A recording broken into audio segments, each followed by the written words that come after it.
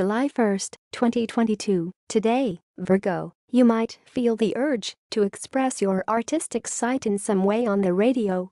Maybe you might think about creating your own website or booking a segment on a nearby radio show.